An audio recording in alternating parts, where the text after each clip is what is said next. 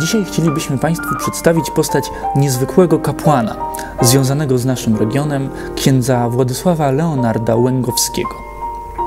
Urodził się w 1877 roku w Zieleniu. Ukończywszy studia na Kolegium Marianum w Pelplinie, a była to tak naprawdę w tamtym okresie jedyna uczelnia na terenie zaboru pruskiego, gdzie uczyć się mogli polscy księża katoliccy. Został proboszczem w pobliskich Wielkich Radowiskach w 1912 roku.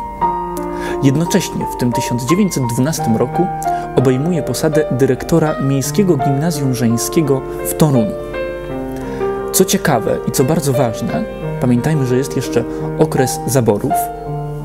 Ksiądz Łęgowski prowadził lekcje w języku polskim i w takim języku nakazywał prowadzenie lekcji innym nauczycielom.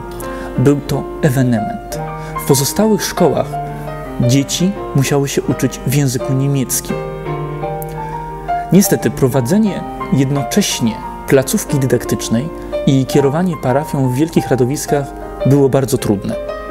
Dlatego ksiądz Łęgowski zdecydował się w 1921 roku, już w wolnej Polsce, kiedy miał zagwarantowane, że dziewczęta uczyć się będą w języku polskim, zrezygnować z posady dyrektora i zajął się tylko i wyłącznie kierowaniem parafią.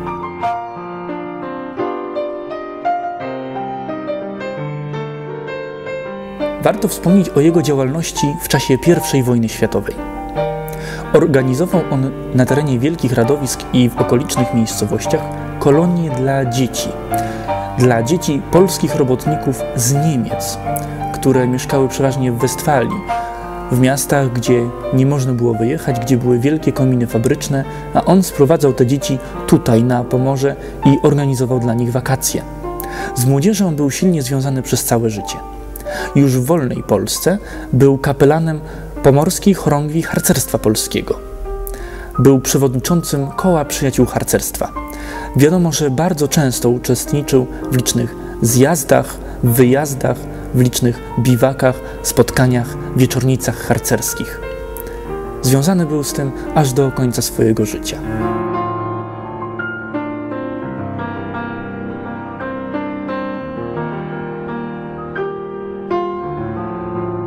Od 1908 roku należał do Towarzystwa Naukowego w Toruniu. Specjalizował się w antropologii. Dla celów badawczych odbył dwie podróże do Egiptu i do Ziemi Świętej. Czynił specjalne zapiski. Po powrocie chciał wydać książkę. Bardzo długo zbierał się do jej napisania. Zdecydował się wreszcie na to w latach 30. Jego praca poświęcona antropologii została wydrukowana w wąbrzyskich zakładach graficznych w 1939 roku, ale nigdy nie ujrzała światła dziennego. Książka została wydrukowana w sierpniu, a pamiętajmy, że we wrześniu wybucha II wojna światowa. Książki nie zdołano rozprowadzić. Nie zachował się ani jeden jej egzemplarz, ponieważ hitlerowcy zniszczyli cały nakład. A jej autora? Najpierw aresztowano go i osadzono w pałacu w Dębowej Łące, podobnie jak innych katolickich księży z terenu powiatu wąbrzeskiego.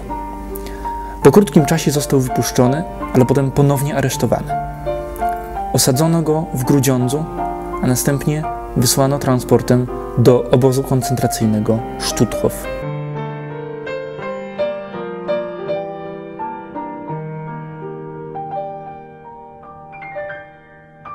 Tam zmarł oficjalnie na zawał serca w 1941 roku. W kościele w Wielkich Radowiskach doczekał się pamiątkowej tablicy. To bardzo ciekawa postać, warta przypomnienia, a właściwie odkurzenia, bo jest to postać nieco zapomniana. Niewielu wiedziało o jej istnieniu. Dlatego dzisiaj specjalnie przypominamy Państwu tę postać. Związanego z harcerstwem, antropologa, kapłana, patrioty księdza Władysława Leonarda Łęgowskiego.